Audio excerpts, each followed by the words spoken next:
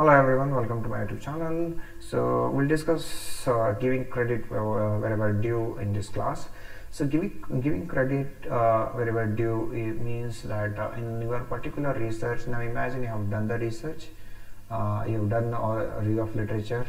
Okay, you have found the research gap, you have found the title now, and you have started doing the research. And you have started doing the research lot of people will help you. Maybe in terms of technical aspects or in your project they directly involved. Maybe your guide or maybe your peer or maybe your uh, i mean your uh, batchmates since you are students. And what happens they all are contributing the same way or some or other some is someone is contributing more someone is contributing bit okay like that. Based on that you can have the first author second author and third author in the paper and uh, you can also have your uh, guide as a corresponding author who will be a, a corresponding author nothing but senior author who knows who will, was who is expert in that particular field. Or maybe he is simply your guide because just because he guided so he will be cor- corresponding author. Okay? So this is itself is nothing but you are giving the credit. That is one thing. And there are people when you are doing the research in the lab assistant might have helped you or if you are a PhD, PhD student then the whole family is supporting you for your PhD all these things you need to acknowledge them. So that comes under acknowledgement okay? So credit will be given as an acknowledgement there okay? And then when it is about uh, referring or citing it's about when you have done the when you are doing the research obviously how you found the research uh, gap how you find your title? Because of the research gap. How you find the research gap? Just go ulta version.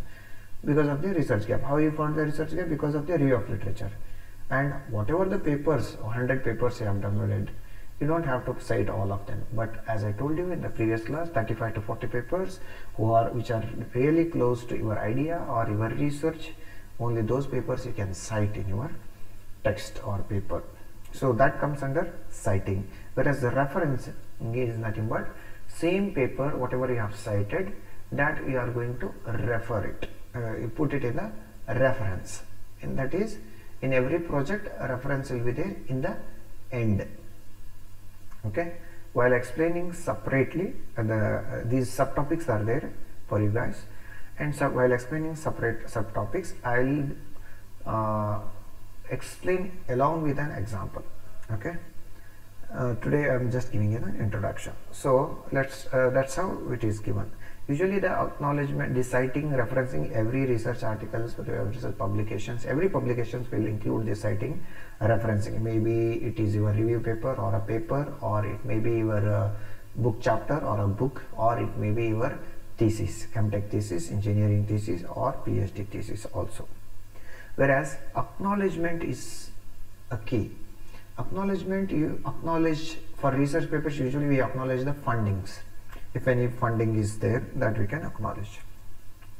But in thesis master thesis phd thesis and all we will acknowledge everyone whoever helped us. Maybe the lab assistant maybe your family members maybe your principal maybe the laboratory which helped you all those things comes under acknowledgement so acknowledgement is more commonly it's a more common or general aspect whereas citing and reference it has to be highly specific. So next attributing is nothing but for your authors and all those things. So academic writing let's start the topic. This is the introduction and whatever i've told you you can simply write this in your exam. So far whatever i explained you. If you want point wise stay tuned. For the next 5 to 10 minutes i'll explain this topic so academic writing, uh, by definition, it is nothing but must follow certain rules and uh, conventions or regulations.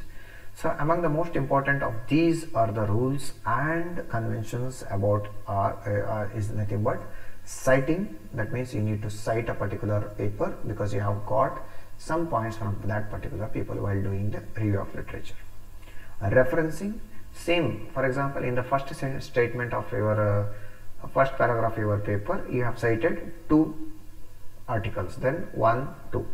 So now under reference after your paper uh, conclusion there is a reference. So in that in text you can only write one and two.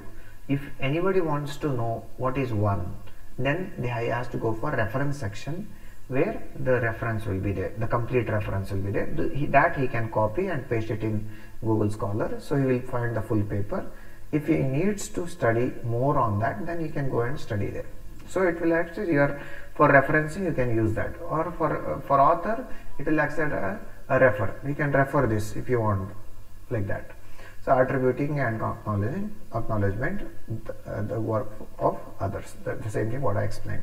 So that means giving proper credit wherever due okay you have to give the credit to everyone who is involved maybe scientifically non-scientifically. So citing in the practice of uh, quoting form quoting from where exactly you are taking from that is citing. And next referring to the other authors works that means you are going to refer the other uh, other uh, the authors uh, works okay? And ideas in the text of our work in such a way that the context is clear to the reader when the reader reads he should know that so and so has been done for example if i write a sentence like synthesis of silver nanoparticles can be done by bacteria fungus and even the physical methods like uh, cvd pvd all those things then i have to cite from where I got that knowledge. So synthesis of nanoparticles can be done by bacteria. So any one of the paper who actually gave the input uh, I mean when I was reading the paper when I came to know that this particular uh, nanoparticles can be synthesized by this that paper explains that. So I can put one there. So in reference the whole information will be given. Understanding? Next for physical chemical methods also can be used. That is also another paper will be there that I will give two three like that. Understanding? So like that in text you will keep so even though if anyone wants to see how they have synthesized like that and all. Then he can click on one so it will go to the reference. Then that reference he can take copy and then paste it in a google scholar. He will get the paper. He can read it more for more this thing information. So referencing is the listing of the full publications details of the published work that that is cited cited uh, so as to give a background information to the reader. That's what i told. Reference will be in the reference section. That again any author can cross verify whether or for more details you can see. So acknowledgement is in uh, research publication indicates contribution to the scientific work. So any contribution which is coming from the scientific work maybe fundings or maybe the lab assistant who is helping you maybe your family. So however acknowledgement attributions and citation differ in the manner of their applications even though they sound the same. Acknowledgement is arguably more personal singular. Definitely it is more personal i'm giving credit to the my lab assistant i'm giving credit to the my family. This more personal or singular or and simply an expression of appreciation and contribution. So the next topic is citation that functions and attributes that we will discuss in the next class